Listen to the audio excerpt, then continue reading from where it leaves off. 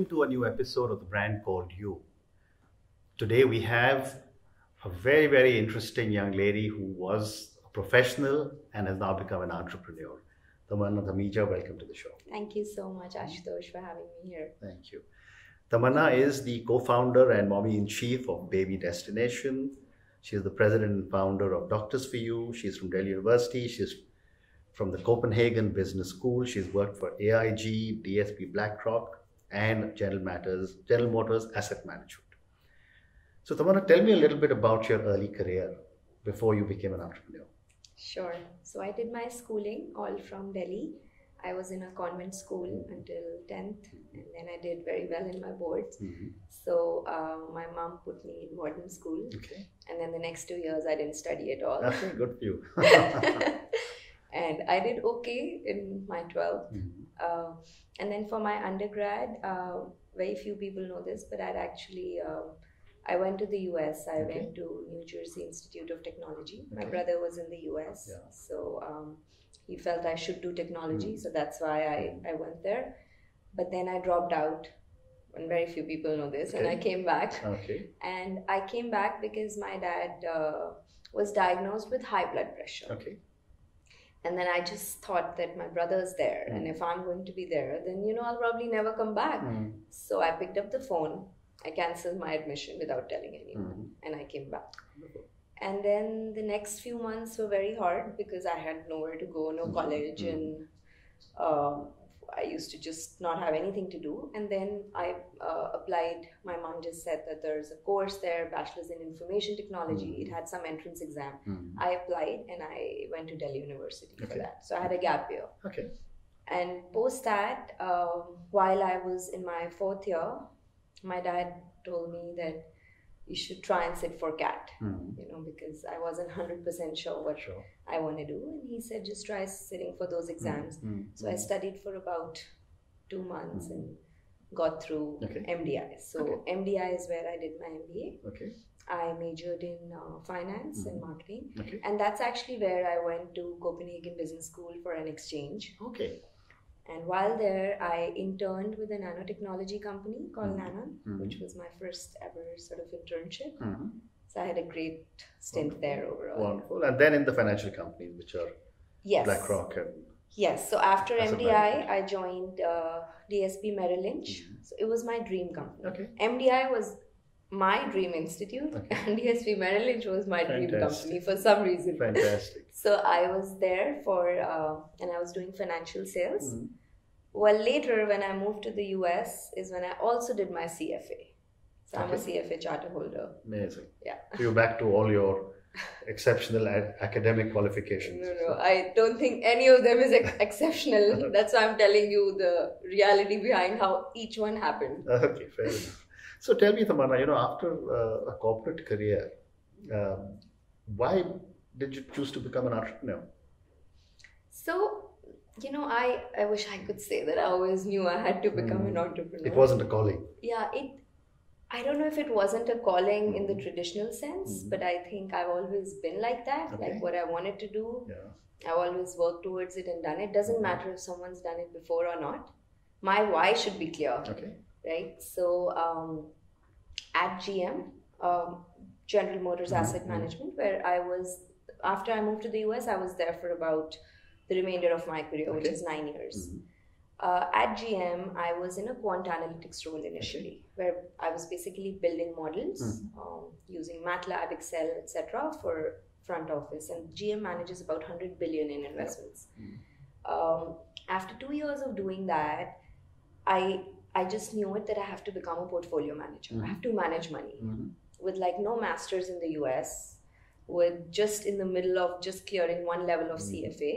I was like, I have to do this. I don't know how, but this is what I need to do. Correct. So I don't know if that's entrepreneurial, but I did not think, is it possible? Like Okay. GM, Yeah. as American as they can get, you know, right, like. right, right. right. But uh, I did that. I interviewed, and Mm. then I within three months I became a portfolio manager. I was Amazing. managing like two hundred million dollars as a portfolio manager who's not ever been in investment operations, Okay.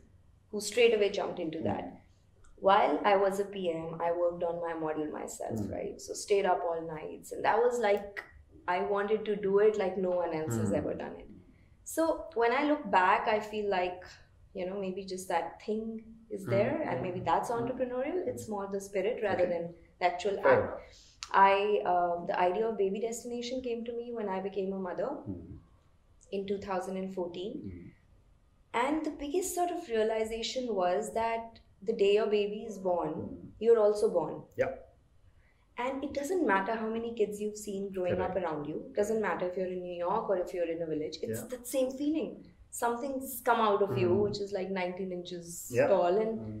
and now figure out why they're crying. Right. Right? Figure out why they wouldn't take a bottle, Yeah.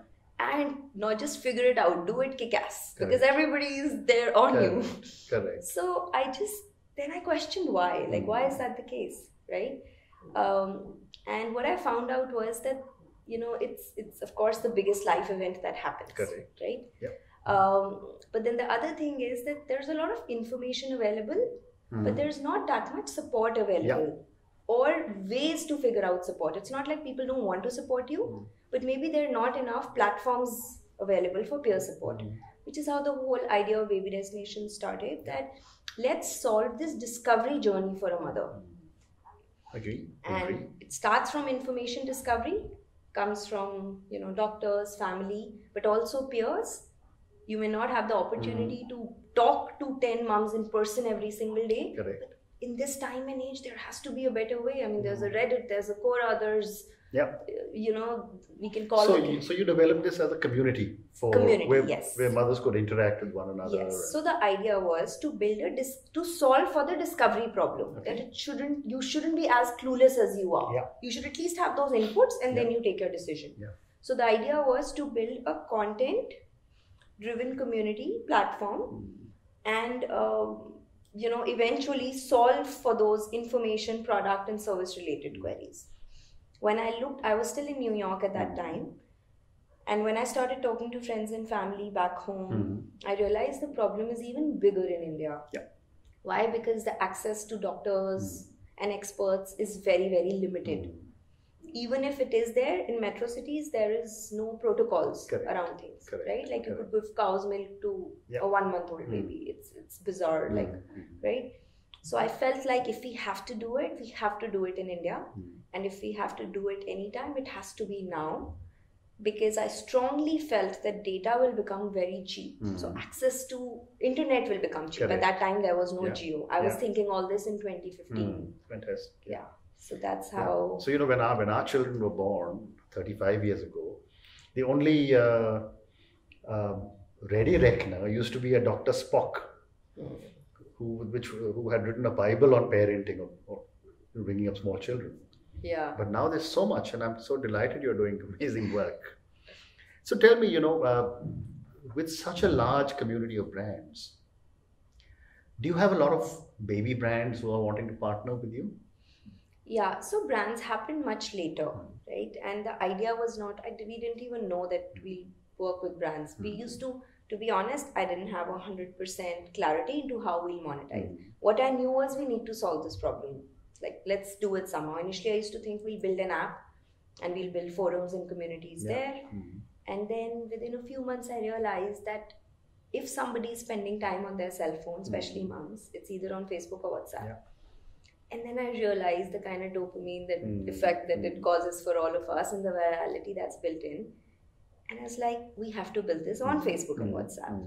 And everyone was like, Are you crazy? Like you've moved all the way back to like build Facebook groups and I said, Yeah, because that's where moms are. That's Mm. where we can add value. Mm. Cannot expect them to come here where they're already Correct. worried about their child Correct. right? Come here to get information. So we started building our communities on Facebook and WhatsApp, which in itself was sort of unheard of. Mhm. And uh, once we started building communities, we realized that these conversations are a gold mine of information Correct. for anyone that wants to add value. Mm. So if there is a community or a group, I don't know, are you a part of any Yeah. Facebook groups? Mm. Okay, so you Yeah, know, right? right. So like a startup Facebook group, Mm. let's say if you just go through those conversations doesn't matter who if even if you take all the personal info it's just Mm. like text what you would be able to tell is what are the top five pain points funding or you know just scaling sure, whatever Sure. right what you would be able to then deep dive and say that you know why is scaling such a big pain Correct. point right Correct. because the business models are Yeah. so different there's Mhm. no cut copy paste everywhere and all that right.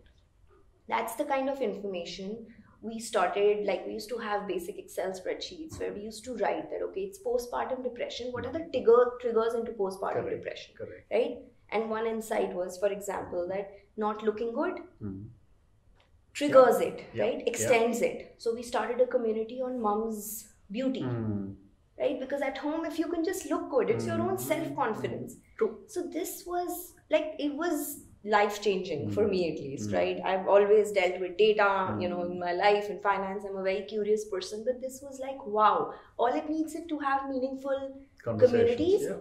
to know pain points and then to solve them Amazing. how are we solving Yeah. them by doing content Yeah. right so 10 ways to not sort of go through postpartum Mm. depression and Mm. all that and then is as we started scaling because it was a feedback loop into our Mm. community Mm. growth Mm. i was very curious on how brands talk to their tg right Okay. especially moms because all of us are them are trying to get our eyeballs everywhere we go Very whether true. it's a hoarding whether it's tv and then i was like why are they not trying to answer these questions Hmm. in an unbiased way and it's okay to say i'm a brand and i do this but why is that not happening Correct. and to my surprise when i started speaking to them i realized that there's a lot of gaps Hmm. there's tremendous gaps in consumer research we do it very primitively like Mm. we'll go do surveys we'll say we understand our consumers you know this one mom said this let me just extrapolate that Absolutely right. and there is a tremendous gap in terms of ROI tracking also. I'll do an ad and I'll say, okay, it's reached 1 million people, great, bingo. And then what happens? Mm. Was I able to solve the problem? You know, did the person come to next step?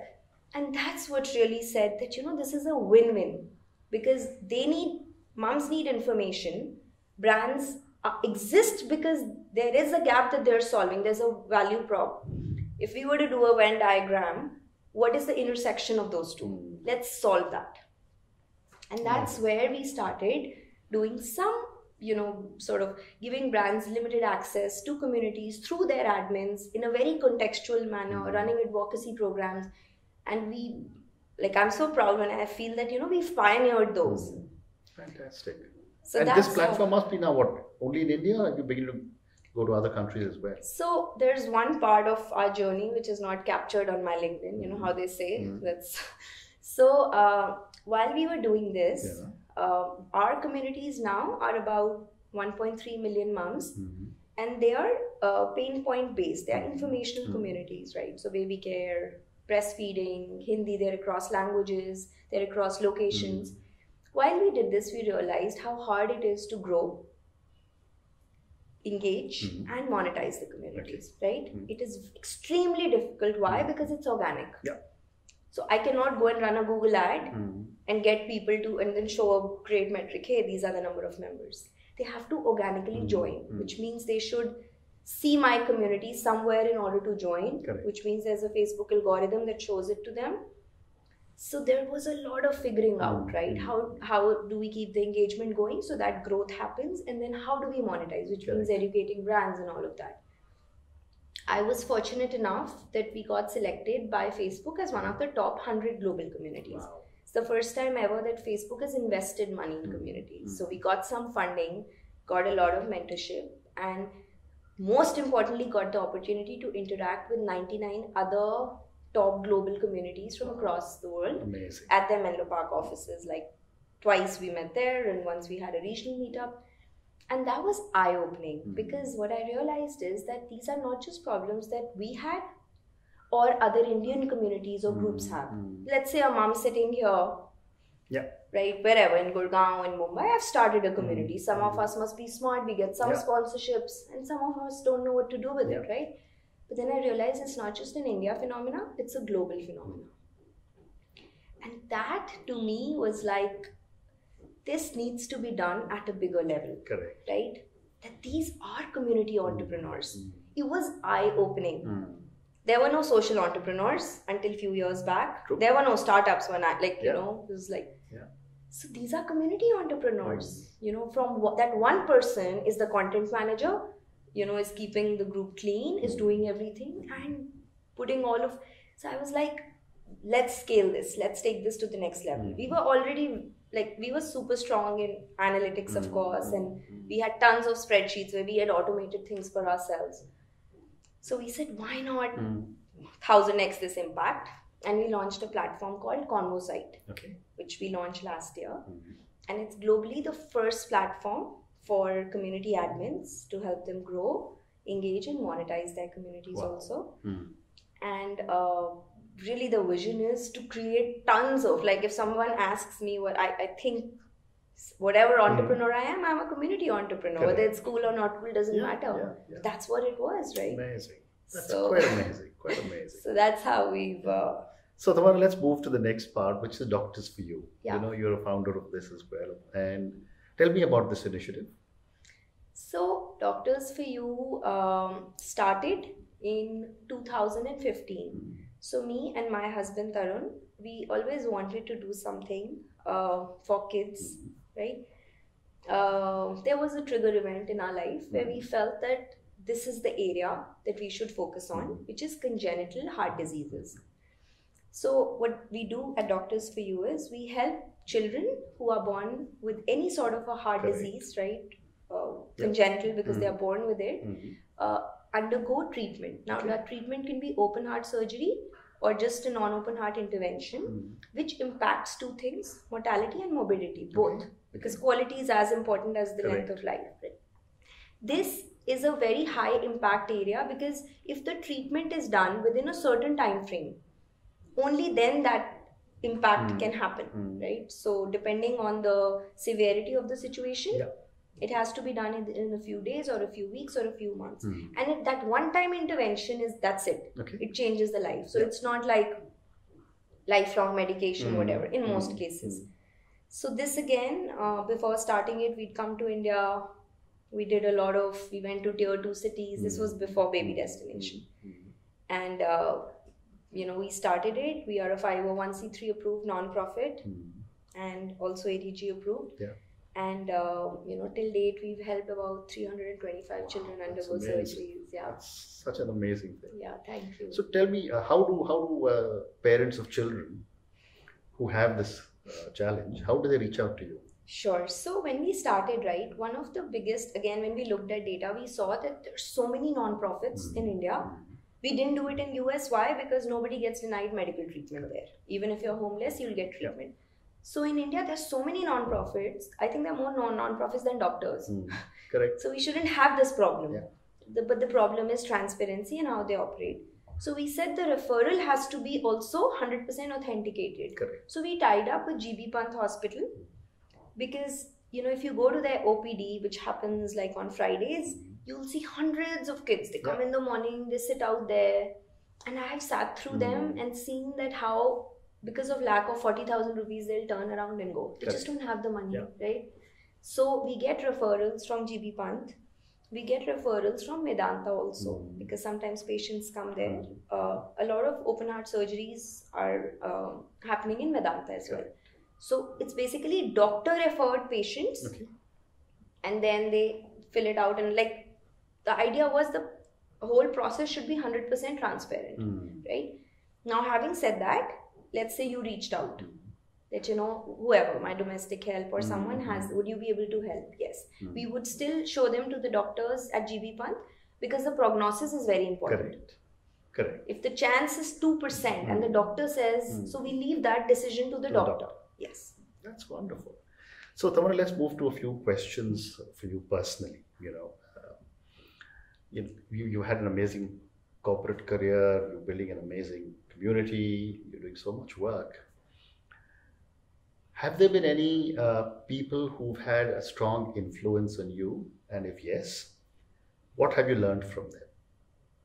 So yeah, I think my family and starting with my grandma, I think she's the biggest influence on me. She's not around anymore, but I think whoever I am, like it's because of her. Correct. Um, and um, specifically, I think you know compassion, as we call it. Mhm. It's really something that I have learned from her. Okay. Um, I've seen her struggle and turn all adversities into advantages Mhm. just by doing things Yeah, for others yeah. so that um, so she's one. Uh, my mom Mhm. is a cancer survivor. Wow. She actually got diagnosed the year that I wanted to move here, Mm, 2015, Okay. right? And then as soon as we found out, of course, help broke loose. And you came back because of your dad's blood pressure. That was initially, Yeah. but now they're back in New York. So Oh, now my home family family is in New York, okay. right? So when I was in New, I moved with them. I missed this Oh, part, I but. I moved Okay. to New York because I moved with them, Okay. right? So she was in New York when this all happened, and then of course everything was put aside, and me and my dad were her primary Mm. caretakers. And the day she graduated in US, they graduate you Mm. from cancer treatment. Next week, I was on a flight to India. India. So, but like really, her resilience. She's the strongest human being ever Mm. and her doctor she got treated at sloan kettering says that you know i want to she used to go for chemotherapy with pearls Mm. she's like you know i have to put you in a book Mm. because it's the spirit I know. so that's that and my dad because i think he's the kindest human being Okay. you know and uh, just the kind of compassion Wonderful. yeah That's so wonderful. Amazing to have such good mentors, isn't it? Or some people, such Yeah. people looking looking after you. exactly you know? i think what you are professionally is a reflection of your values Correct, personally and Correct. Correct. So my next question too would be that it would be that you know what would be three words that define Tamanna? self-aware Mm. compassionate Mm. resilient Okay, which is how you're building such an amazing business, you know, and Yeah, I mean it's and you know what is amazing? I think amazing is the impact you see day in day out. correct. You know, self awareness is extremely important Mm. because good and bad you need to know it day in day out. Right? Mm. What is my animating force in life? Correct. If I know that and I'm constantly working on making it better, Mm. and yeah, so that's Amazing. So, if I was to ask you, you know, uh, you're building this community, and you know, you so uh, easily said that I discovered this and I must do this, and then I you said that we must make it thousand x. What is the secret of all this uh, thinking or success? What goes behind uh, in your mind when you're thinking of all these things? so. I think I'm very committed to the cause and people. Like I'm super invested in people. Hmm. So when I say cause, when we were building Baby Destination, or we are building Baby Destination, that cause is to help the mom get access to information. That's Correct. it, period. Correct. Does not matter it happens on an app, does not matter it's in person, right? Does not. What I do always bear in mind is that it should be something which is scalable. It should Mhm. not be dependent on one person. Like, I'm not the face or influencer Correct. like that's not because then it's restricted on me yeah. right so when again started talking to brands the cause was that help them maximize you know their impact in Mm. roi which is what they want Mm. right so Mm. channelize that so i think that's we're very very obsessed i don't know if that's the right No. word with the cause Mm. with whatever we are working. When it became Convosight, it's like let's change the landscape, right? Right. People should be talking about community entrepreneurs. Mm. They're doing so much work. Mm. Let's take this, you know, sort of purpose on. So I think that's one very, very big thing. And when I say being invested in people, end of the day, all of this is because we're doing something for people, right? Correct. and whether it's employees whether it's you know people you look up to Mm. it's it's just so all the decisions that becomes a very important factor Okay. and i would also say that resilience is it's like never never never give up Mm. you know so that just I- don't think we should be blindsided but uh, that's super critical because just keep marching forward Okay. Okay. So my next question would be, you know, you're doing a startup. You said 2015 you started, isn't it? uh, 2016 2016. 2015 I, yeah the Uh-huh. idea came That came 2016 and And uh, you're sitting in India, and thousands and thousands of people are doing startups. Um, for someone listening to us talk now, and there are thousands of people, young people who are listening, uh, like you, will be listening. What advice would you have to a young individual wanting to start uh, their own, you know, business or enterprise? So the one thing that I would say is that you know know why you're starting up, Hmm. and it's okay to say I have a fire in my belly. I just want to do something kick-ass no Correct. one's done, but just know that and accept it. It's Mm. okay. No one has it all figured out right? But just that reason should be clear. Even if it is to build a build a whatever x million or billion dollar company Mm.